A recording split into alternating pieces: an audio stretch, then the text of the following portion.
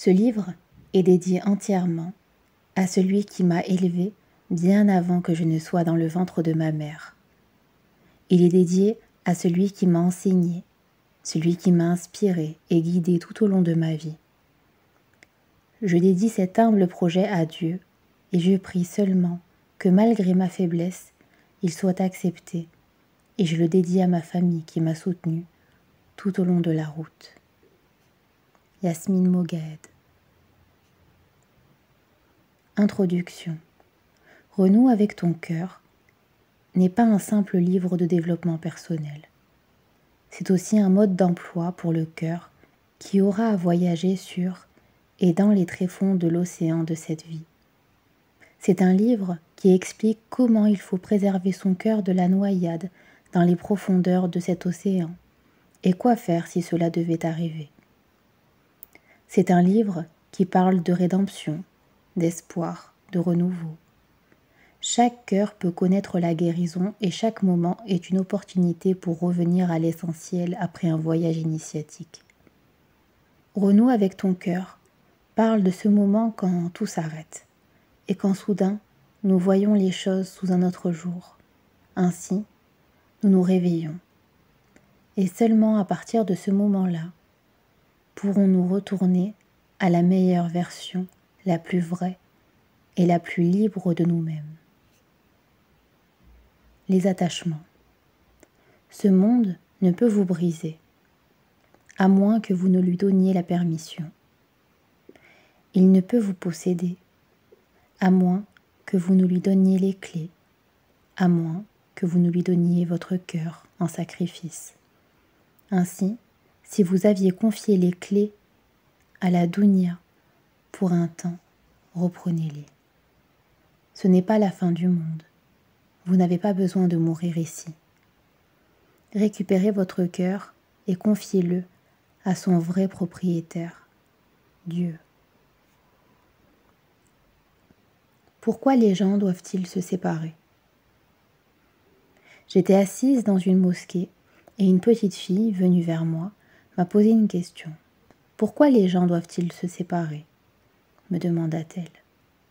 La question était personnelle, mais le fait qu'elle me soit adressée n'était pas une surprise pour moi. J'étais du genre à m'attacher. Depuis toute petite, ce trait de caractère se manifestait clairement chez moi. En maternelle, tandis que les autres enfants se remettaient facilement du départ de leurs parents, je n'y arrivais pas. Mes larmes une fois qu'elles avaient commencé à couler, ne s'arrêtaient plus. Elles grandissaient. Je m'attachais à tout ce qui m'entourait. Depuis le CP, j'avais toujours besoin d'une meilleure amie. Devenue plus âgée, toute dispute avec une amie m'ébranlait. Je ne pouvais me détacher de rien. Des gens, des lieux, des événements, des photos, des monuments. Je souffrais d'une forte dépendance même envers les résultats que j'espérais. Si les choses ne fonctionnaient pas comme je le voulais ou comme je l'avais imaginé, j'étais dévastée. Et la déception, pour moi, n'était pas une émotion banale, c'était une catastrophe. Une fois déçue, je ne m'en remettais pas. Je ne parvenais pas à oublier, et la déchirure était irréparable. Un peu comme un vase en verre que l'on aurait placé au bord d'une table. Ce vase, une fois brisé en plusieurs morceaux, ne pourra jamais vraiment être remis en état et redevenir intact. Toutefois, le problème n'était pas le vase, ni même le fait que les vases se brisent. Le problème était que je les posais systématiquement au bord des tables. Cette tendance à m'attacher m'avait rendue dépendante de mes relations.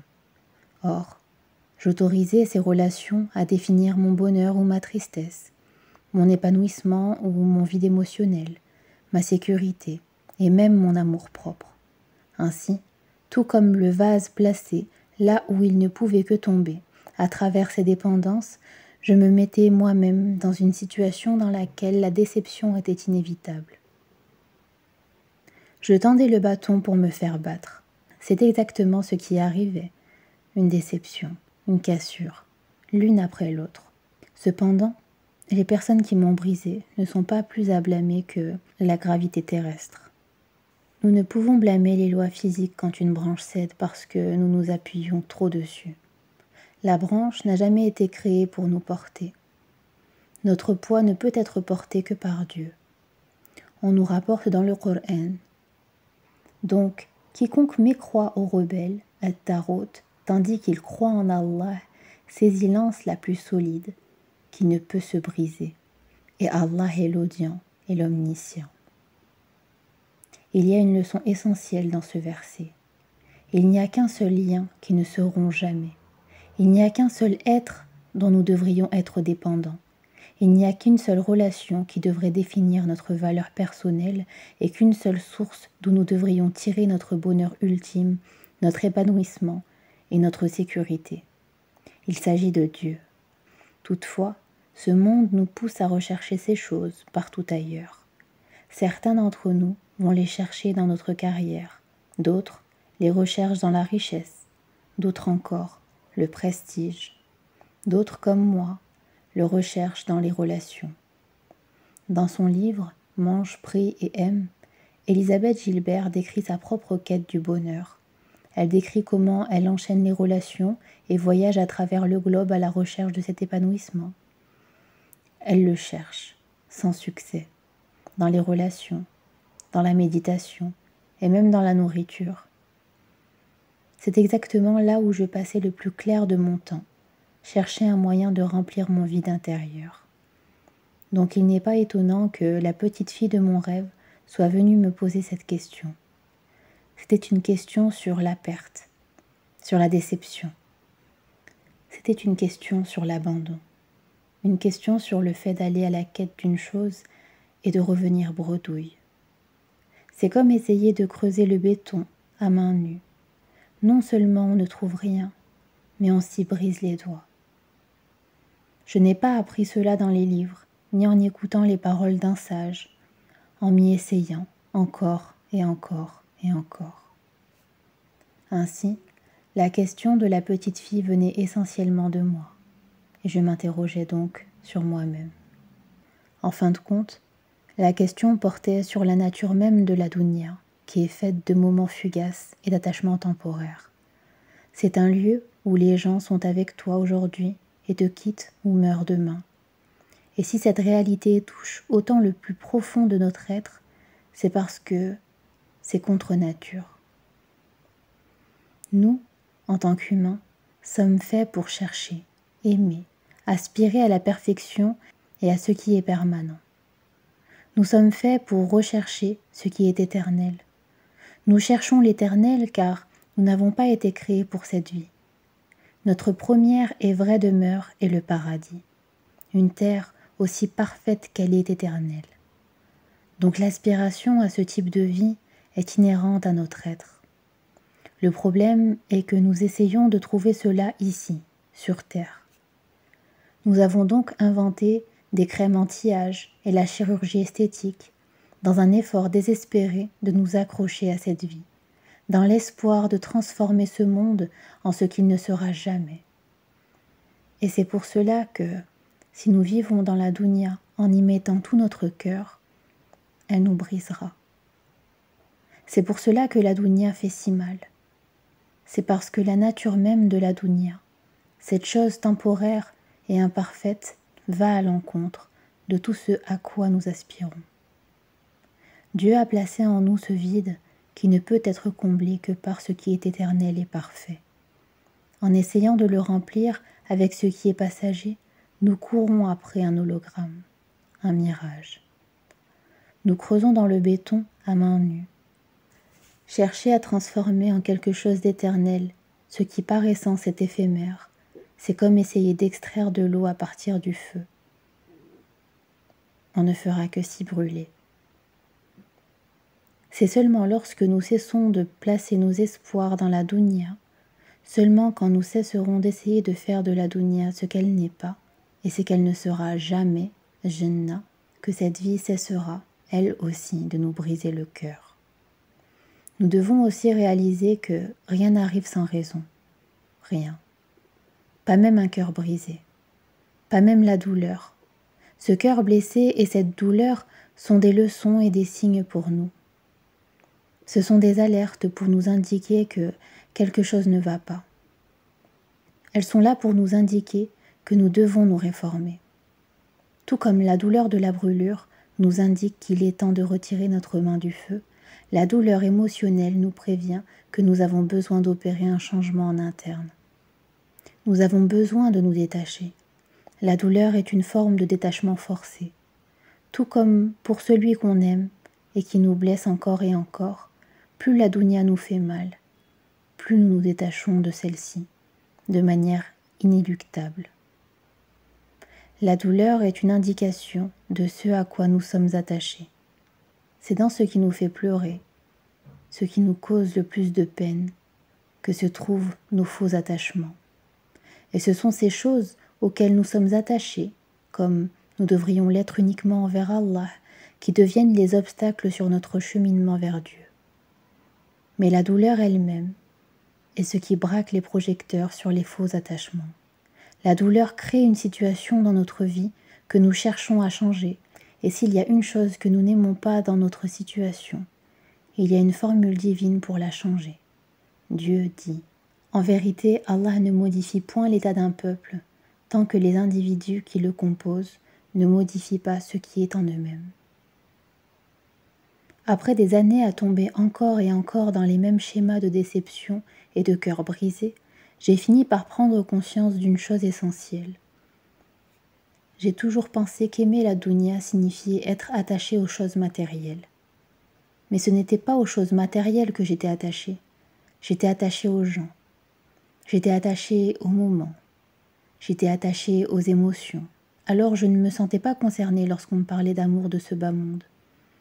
Ce que je ne réalisais pas, c'était que les gens, les moments, les émotions faisaient partie intégrante de la dounia. Ce que je ne réalisais pas, c'était que, toute la douleur que j'avais ressentie durant ma vie était due à une seule et unique chose, l'amour de la Dounia. Dès que j'ai commencé à prendre conscience de ce fait, un voile se retira de mes yeux. J'ai commencé à voir où se trouvait mon erreur. J'attendais de cette vie qu'elle soit ce qu'elle n'était pas et ne sera jamais parfaite. L'idéaliste que je suis se battait de tout son être pour qu'elle soit ce qu'elle n'était pas. La vie devait être parfaite, je n'arrêtais pas tant qu'elle ne le devenait pas. Je sacrifiais ma vie pour servir cette mission, transformer la dunya en Jannah. Cela signifiait d'attendre des gens autour de moi qu'ils soient parfaits, d'attendre de mes relations qu'elles le soient également, d'attendre, de vouloir tellement de choses de mon entourage et de cette vie, des attentes des attentes et encore des attentes. Et s'il existe une recette pour ne pas être heureux dans cette vie, c'est bien celle-là. Avoir des attentes mal placées, vouloir trop. Je faisais la même erreur que tout le monde, et mon erreur n'était pas le fait d'avoir des attentes, car, en tant qu'être humain, nous ne devrions jamais perdre espoir. L'erreur plutôt était de placer ces attentes et cet espoir au mauvais endroit. En réalité, mon espoir et mes attentes n'étaient pas placés en Dieu. Mon espoir et mes attentes étaient placés dans les gens, dans des relations, dans les moyens. En fin de compte, mon espoir était dans la dounia, au lieu d'être en Dieu. Alors j'ai pris conscience d'une profonde vérité. Un verset traversa mon esprit. C'était un verset que j'avais déjà entendu auparavant, mais pour la première fois, j'ai pris conscience qu'il m'était destiné. Ceux qui n'espèrent pas notre rencontre, qui sont satisfaits de la vie présente et s'y sentent en sécurité, et ceux qui sont inattentifs à nos signes. En pensant que je pouvais tout avoir ici, je ne plaçais pas mon espoir dans ma rencontre avec Dieu, mais je la plaçais dans la dounia. Mais que signifiait alors placer son espoir dans la dounia Comment peut-on l'éviter? Cela signifie que, lorsque nous avons des amis, ne nous attendons pas à ce qu'ils comblent notre vide émotionnelle. Lorsque nous nous marions, ne nous attendons pas à ce que notre conjointe ou notre conjoint comble tous nos besoins. Si nous sommes un ou une militant ou militante, ne mettons pas tous nos espoirs sur l'impact de nos actions. Quand nous nous trouvons dans une situation difficile, ne dépendons ni de nous-mêmes, ni de personne d'autre. Nous devrions dépendre uniquement de Dieu. Nous pouvons demander l'aide des gens. Seulement prenons conscience que ce ne sont pas les gens, ni nous-mêmes, qui vont nous sauver. Seul Dieu peut faire cela. Les gens ne sont que des outils, des moyens utilisés par Dieu mais ils ne sont pas la source d'aide, de secours ou de salut de quelque type que ce soit. Seul Dieu en est la source. Les gens ne peuvent même pas créer l'aile d'une mouche. Et donc, même lorsque nous interagissons avec les gens, dirigeons notre cœur vers Dieu. Plaçons-nous face à lui seul, comme le prophète Ibrahim l'a si joliment dit je tourne mon visage exclusivement vers celui qui a créé à partir du néant les cieux et la terre. Je ne suis point de ceux qui lui donnent des associés. Mais comment le prophète Ibrahim a-t-il décrit son cheminement? Il a étudié la lune, le soleil et les étoiles, et a pris conscience qu'ils n'étaient pas parfaits. Ils apparaissent et ils disparaissent. Ainsi, le prophète Ibrahim n'avait d'autre choix que de se tourner uniquement vers Dieu.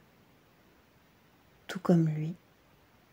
Nous avons besoin de placer notre espoir et notre confiance entière en Dieu et de dépendre de lui et lui seulement. Et en agissant ainsi, nous apprenons ce que signifie trouver la paix et la stabilité du cœur. C'est seulement à ce moment-là que nous pourrons arrêter ce jeu de montagne russe qui définit nos vies. En effet, si un état émotionnel intérieur est basé sur une chose qui, par essence, est instable, cet état le sera également. Si notre humeur dépend de choses instables et éphémères, cette humeur sera constamment sujette à l'instabilité, l'agitation et le trouble. Cela signifie qu'un instant, nous sommes joyeux, mais dès que la source de joie s'altère, notre joie s'estompe. Et nous devenons tristes, nous oscillons ainsi constamment entre un extrême et un autre sans vraiment comprendre pourquoi. Nous vivons ces montagnes russes émotionnelles parce que nous ne trouverons jamais de stabilité ni de sérénité tant que notre attachement et notre dépendance ne reposeront pas sur ce qui est stable et éternel. Comment pouvons-nous espérer trouver l'équilibre si ce sur quoi nous nous reposons est incohérent et éphémère? La déclaration d'Abu Bakr illustre parfaitement cette réalité. Lorsque le prophète Mohammed décéda, les gens, sous le choc, ne pouvaient supporter la nouvelle. Bien que personne n'aimât le prophète autant qu'Abu Bakr, ce dernier comprit très vite que seule la dépendance à Dieu était acceptable. Il dit Si vous adoriez Mohammed, sachez que Mohammed est mort. Mais si vous adorez Allah, sachez qu'Allah est celui qui ne meurt jamais. Pour atteindre cet état, ne laissons pas la source de notre épanouissement être autre chose que notre relation à Dieu. Ne laissons jamais autre chose que notre rapport à lui définir notre notion de réussite, d'échec ou d'estime de soi.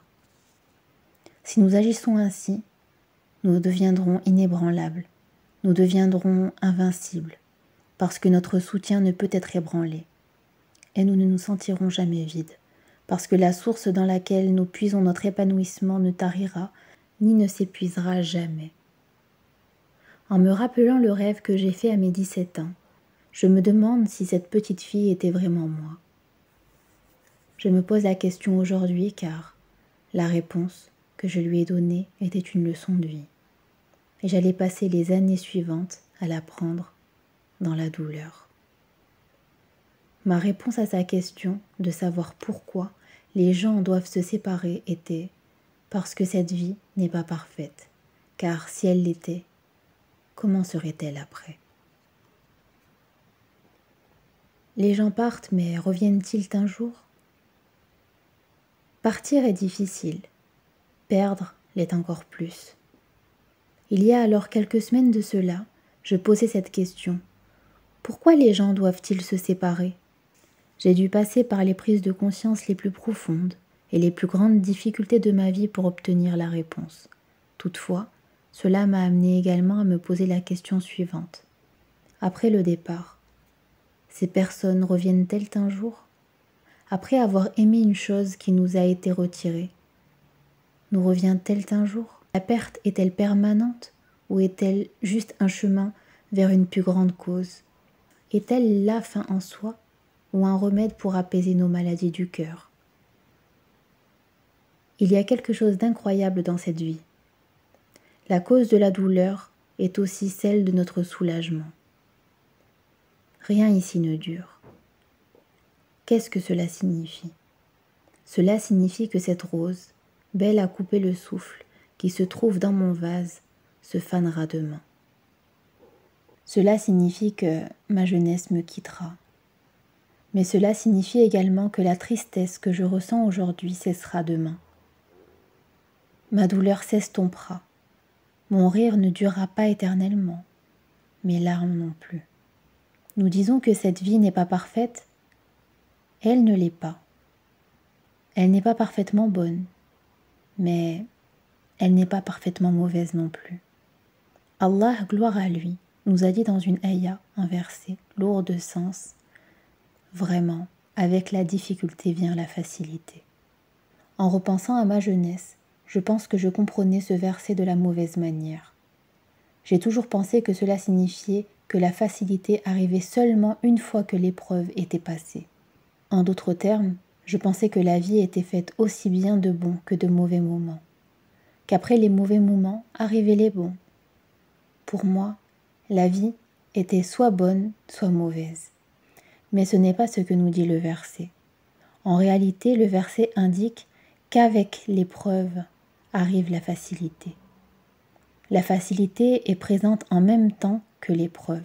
Cela signifie que rien dans cette vie n'est totalement mauvais ou totalement bon. Dans chaque situation difficile que nous vivons, il y aura toujours de quoi être reconnaissant. Avec la difficulté, Allah nous donne aussi la force et la patience. Si nous repensons aux moments difficiles dans nos vies, nous nous rendons compte qu'ils étaient aussi remplis de moments agréables. La question est, sur quoi choisissons-nous de nous focaliser? Je pense que le piège dans lequel nous tombons est dû au fait que nous avons ancré cette fausse croyance selon laquelle cette vie peut être parfaite, parfaitement bonne ou parfaitement mauvaise. Cependant, ce n'est pas la nature de la dounia, la vie d'ici-bas. C'est la nature de l'au-delà. L'au-delà est réservé pour les choses parfaites. Le Jannah, le paradis, est parfaitement et complètement bon. On n'y trouve rien de mauvais. Et le Jahannam, l'enfer, qu'Allah nous en protège, est parfaitement et complètement mauvais. On n'y trouve rien de bon. Parce que je ne saisissais pas correctement cette réalité. J'étais complètement absorbée par les événements survenus dans ma vie. Qu'ils soient bons ou mauvais, j'ai vécu chaque situation intensément, comme si elle était définitive ou ne se terminerait jamais.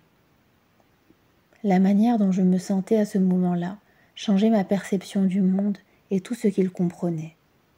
Si j'étais heureuse à ce moment-là, qu'il s'agisse du passé ou du présent, de ce qui était proche ou de ce qui était lointain, c'était l'univers tout entier qui devenait bon à mes yeux à ce moment-là.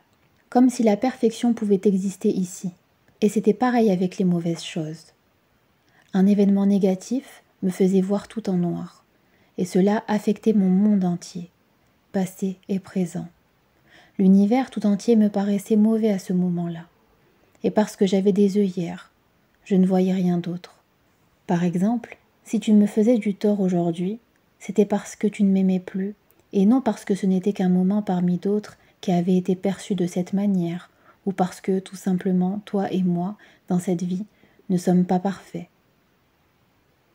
Ce que je vivais ou ressentais à ce moment-là altérait la réalité parce que, ma perception du monde elle-même était altérée. Je pense que le fait que nous soyons des êtres d'expérience rend certains d'entre nous sujets à ce phénomène. Peut-être est-ce la raison pour laquelle il peut nous arriver de dire à quelqu'un Je n'ai jamais rien vu de bon en toi de toute façon. Le prophète sallallahu alayhi wa sallam faisait d'ailleurs référence à cela dans son hadith. Peut-être que certains d'entre nous disent ou ressentent cela parce qu'à ce moment précis, nous sommes persuadés que nous ne voyons rien de bon, parce que nous voyons et ressentons tout à travers nos émotions et à cet instant précis. Le passé et le présent ne font plus qu'un. Mais la vraie prise de conscience que rien n'est parfait dans cette vie change notre perception des choses. Instantanément, nous cessons d'être ravagés par ces moments, en nous permettant de comprendre que rien n'est éternel ici, que rien ici n'est qu'Amil, parfait ou complet. Allah nous donne la capacité de prendre du recul face à ces moments et de les voir tels qu'ils sont. Ils ne définissent ni notre réalité, ni notre espace-temps, mais ce sont tout simplement des moments parmi tant d'autres. Et eux aussi sont passagers. Que je pleure ou que je perde quelque chose ou quelqu'un, que je sois blessé aussi longtemps que je vivrai, rien n'est définitif. Aussi longtemps qu'il y aura un lendemain, une nouvelle étape, espoir il y aura, réforme il y aura, rédemption il y aura. Rien n'est jamais perdu définitivement. Pour répondre à la question à savoir si ce que l'on perd nous revient, j'ai étudié les plus beaux exemples.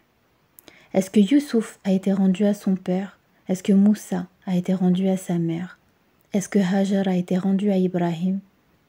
Est-ce que la santé, la richesse et les enfants ont été rendus à Ayoub? Ces histoires nous apprennent une puissante et une magnifique leçon. Ce qui nous a été enlevé par Allah n'est jamais perdu. En vérité, il n'y a que ce qui demeure auprès d'Allah qui subsiste. Tout le reste disparaîtra.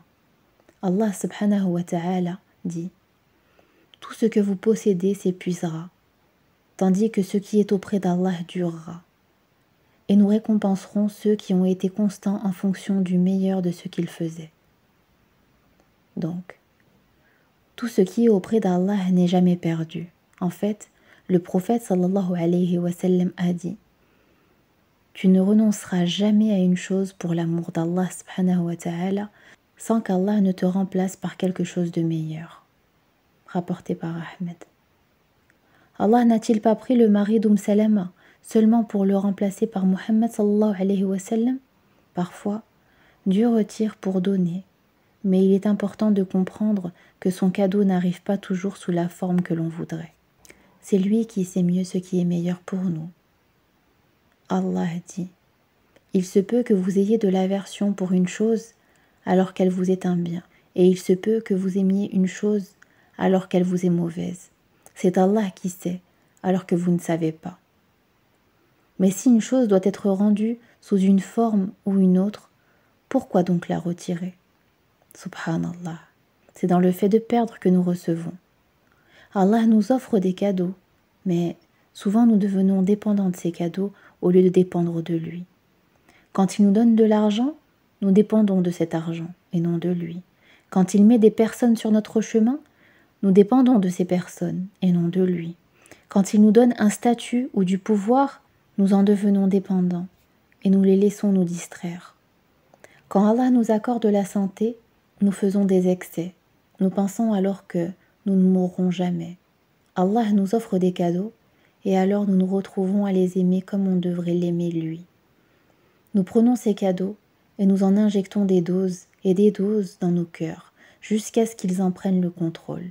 Et très vite, nous n'arrivons plus à vivre sans eux. Nous en devenons dépendants. Chaque moment éveillé est passé à les contempler, à les adorer, dans une posture de soumission. L'esprit et le cœur qui ont été créés par Allah pour Allah deviennent alors la propriété de quelqu'un ou d'autre chose. Et alors la peur s'installe, la peur de perdre nous saisit. Le cadeau, que nous devrions simplement garder dans nos mains, prend le contrôle de notre cœur. La peur de le perdre nous détruit. Ce qui était un cadeau devient une arme de torture et une prison que nous avons nous-mêmes bâtie. Comment pourrions-nous nous en libérer? Parfois, dans son infinie miséricorde, Allah nous en libère, en nous le reprenant. Du fait d'avoir été privés de ce cadeau, nous nous tournons vers Dieu, de tout notre cœur, et dans ce désespoir et ce besoin, nous demandons, nous supplions, nous prions.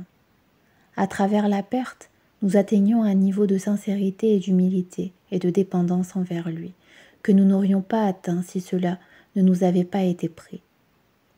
À travers la perte, nos cœurs se tournent entièrement vers lui. Qu'arrive-t-il quand on offre un jouet à un enfant ou le nouveau jeu vidéo qu'il a toujours voulu? Cela le consume. Bientôt, il ne voudra rien d'autre. Il ne verra rien d'autre. Il ne voudra plus faire ses devoirs, ni même manger. Il deviendra hypnotisé à son propre détriment. Et donc, que faisons-nous en tant que parents aimants? Le laissons-nous se noyer dans son addiction et sa perte complète de concentration et d'équilibre Non, nous le lui retirons. Alors, une fois que l'enfant a retrouvé le sens des priorités, qu'il a repris ses esprits et son équilibre, une fois que les choses sont remises à leur place dans son cœur, dans son esprit et dans sa vie, que se passe-t-il? Nous lui rendons son cadeau ou nous lui en offrons un meilleur. Mais cette fois-ci, ce n'est plus dans son cœur qu'il place le cadeau. Il le remet à la place qu'il aurait toujours dû occuper, entre ses mains. Perdre et récupérer le cadeau ne sont finalement qu'une formalité. Le vrai cadeau est celui-ci. Avant, nous étions inattentifs. Nous nous reposions sur autre chose qu'Allah et nous étions préoccupés par autre chose que lui. Désormais, nous nous souvenons de lui, nous dépendons de lui et sommes tournés uniquement vers lui. Allah retire pour mieux donner. Et ainsi, parfois, cette meilleure chose est le plus grand cadeau qui soit. Perdre et récupérer le cadeau ne sont finalement qu'une formalité. Le vrai cadeau est celui-ci. Avant, nous étions inattentifs. Nous nous reposions sur autre chose qu'Allah et nous étions préoccupés par autre chose que lui. Désormais, nous nous souvenons de lui, nous dépendons de lui et nous sommes tournés uniquement vers lui. Allah retire pour mieux donner. Et ainsi parfois, cette meilleure chose est le plus grand cadeau qui soit, sa proximité. Allah a pris la fille de Malik ibn Dinar pour le sauver. Il lui a pris sa fille, mais l'a remplacée par sa protection contre le feu de l'enfer et le salut d'une vie douloureuse marquée par les péchés et la distance d'avec lui. À travers la perte de sa fille, Malik ibn Dinar fut béni d'une vie passée aux côtés d'Allah et même ce qui lui a été retiré, sa fille, demeurera avec Malik ibn Dinar à jamais dans le Jannah.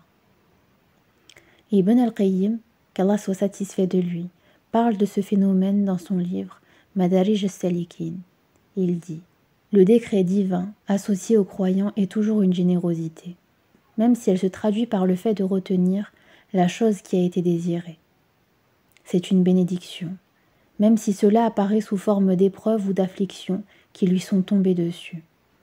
C'est en vérité une guérison, même s'il apparaît sous la forme d'une maladie. Donc, à la question une fois qu'on perd une chose, est-ce qu'on la retrouve? La réponse est oui. Elle nous est rendue, parfois ici, parfois là, parfois sous une forme différente, voire meilleure. Mais le plus grand cadeau se trouve dans le fait qu'il nous ait été retiré puis rendu. Allah nous dit dit Ceci provient de la grâce d'Allah, de sa miséricorde. Voilà de quoi ils devraient se réjouir. C'est bien mieux que tout ce qu'ils amassent. Combler le vide intérieur et rentrer à la maison? Nous étions à la maison, puis tout d'un coup, nous n'y étions plus.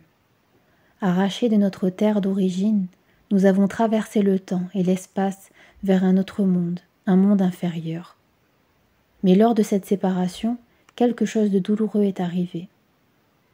Nous ne partagions plus le même espace physique avec Dieu. Nous ne pouvions plus le voir, le voir de nos propres yeux physiques, ni lui parler de vive voix. Contrairement à notre père Adam, que la paix de Dieu soit sur lui, nous ne pouvions plus ressentir cette même sérénité. Ainsi, nous sommes descendus sur terre, nous étions arrachés à lui, et dans la douleur de cette séparation, nous avons saigné. Pour la première fois, nous avons saigné. Et ce déchirement d'avec notre Créateur a laissé une entaille, une profonde blessure avec laquelle nous naissons tous. Et quand nous grandissons, la douleur de cette blessure grandit aussi. Elle devient de plus en plus intense, mais au fur et à mesure que le temps passe, nous nous écartons de l'antidote, déjà présent dans notre fitra, dans notre nature première. Être proche de lui, avec le cœur, l'âme et l'esprit. Au fur et à mesure que les années passent, nous devenons de plus en plus désespérés de remplir cet espace vide. Mais c'est en cherchant à le remplir coûte que coûte que nous trébuchons. Chacun d'entre nous trébuche sur différents objets et beaucoup d'entre nous cherchent à anesthésier le sentiment de vide. Alors, une partie de l'humanité se réfugie dans la drogue ou l'alcool, tandis que d'autres cherchent d'autres anesthésiens. Certains d'entre nous sont tombés dans le plaisir charnel, le culte du prestige ou encore l'argent. Certains d'entre nous se noient dans leur carrière professionnelle. Et puis, il y a ceux d'entre nous qui sont victimes de leur attachement aux personnes. Certains d'entre nous y laissent leur peau